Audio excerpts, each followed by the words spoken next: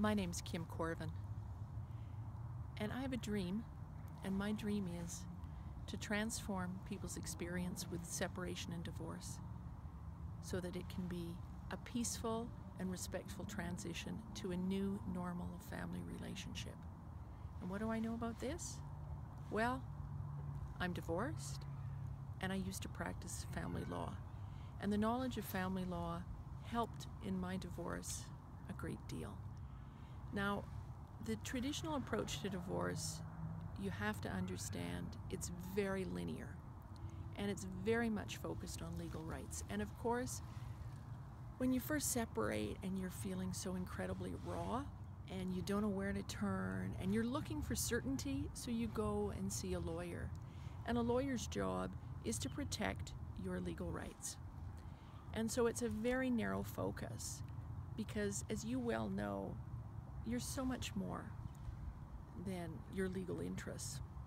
And in terms of the information, even that's important to getting a divorce, the information that's important from a legal perspective is the lawyer is going to ask you for your name and your date of birth, the name and date of birth of your husband, the date you got married, where you got married, uh, the dates your children were born and their full names, you know, what activities they're involved in. There also a really big focus is going to be on how come you're the best parent and how come your ex is a really horrible parent. So you're left, the dynamic of that, what happens then is you're focusing everything positive on what you've done and you, and you're focusing, you're remembering every rotten thing your ex ever did related to the kids. And your ex is doing exactly the same thing from your ex's perspective. So it's this horrible conflict, and, and you're thinking, all you can think about is how awful your ex is, and it's really hard to get out of that loop. Incredibly difficult. And so at the end of the process, what happens is somebody else makes the decision and you're unhappy about that. But more importantly, there's been no relationship building during that process. It's been a tearing apart. So at the end of it, you're stuck going, I have to, my kids have to spend time with this person? Yuck. I have to talk to this person. I don't even want to look at this person. He's just been saying nasty things about me for the last two years, and it works both ways, and the kids are caught in the middle. When the reality is, you get divorced, but if you have kids, you still have a relationship with your ex.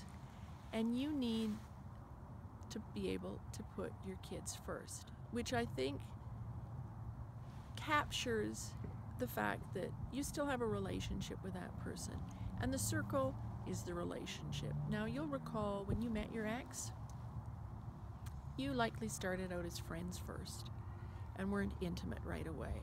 So you'd laugh together and do things together and talk and and it was really healthy and positive.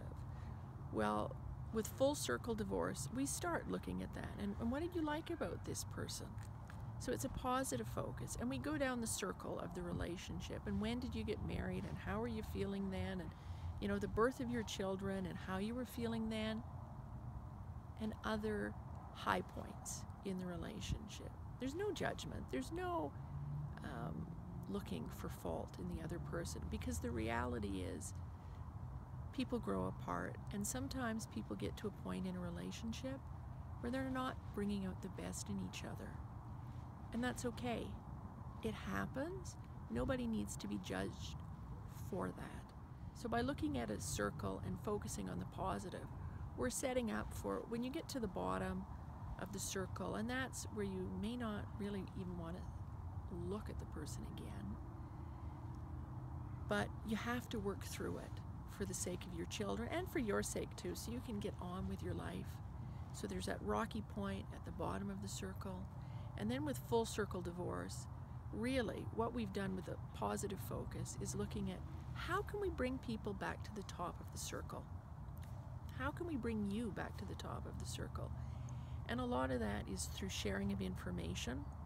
Although I'm not acting as a lawyer, I'm providing legal education, information about what does custody really mean, and really sitting down with people. They're the experts of their lives. So, in terms of the Divorce Act, talks about the best interests of the child. So, sitting down with people who are the experts, they're, they know their families better than anybody else. What are the best interests for their children? And how's that going to play out when the family relationship changes and they're not living with mom and dad all the time anymore? And looking at financial literacy and making sure people are getting the emotional support they need so that they can make strong decisions. They can be strong and make the best possible decisions so that they can create a new normal that's respectful and peaceful. And that's what full circle divorce does. And I have started working with uh, a few individuals, and it has been fantastic for me and for them. And I just, it feels so good to be giving back and sharing this information. So if you want to learn more, I'm starting a website www.fullcircledivorce.com or kimkorven.com is the other way to find me. And I really hope that this inspires you to step outside the traditional box. And I hope you can keep that thought, the full circle divorce, in your mind so you can create a new normal that's yours and that's respectful and peaceful, and so your whole family can move forward in a positive fashion. Thank you.